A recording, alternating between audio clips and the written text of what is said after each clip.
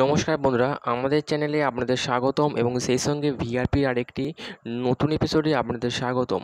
তো বন্ধুরা ভিআরপিদের কাজকর্মের প্রতি মুহূর্তে আপডেট আমাদের এই চ্যানেলে দিয়ে দেওয়া হয়।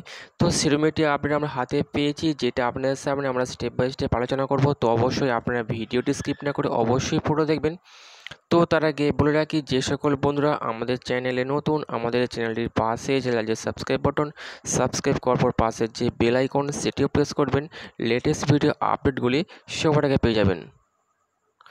তো ওরা এখানে ভিআইপিদের যে মেন কাজটি করেছেন, সেটা হচ্ছে স্যানিটাইজেশন যেটা হচ্ছে চোবড়াতে হয়েছে চোবড়া ব্লকের কুড়ি তারিখে মানে বিশে মে।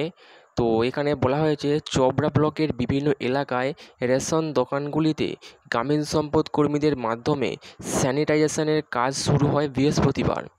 দাসপাড়া এলাকার গ্রামীণ সম্পদ কর্মী হাকিমুল ইসলাম বলেন, ব্লক প্রশাসনের নির্দেশে আজ থেকে প্রতিটি এলাকার রেশন দোকান স্যানিটাইজেশনের পাশাপাশি সাধারণ মানুষের মধ্যে করোনা বিধি নিয়ে সচেতনামূলক প্রচার শুরু হয়েছে।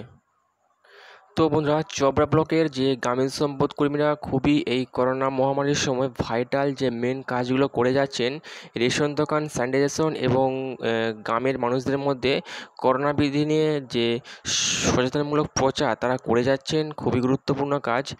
তো আপনি কোন ডিস্ট্রিক্ট থেকে দেখছেন অবশ্যই কমেন্ট করবেন এবং আপনারা কি এরকম কোনো ক্যাম্প করছেন ক্যাম্পেইন করছেন?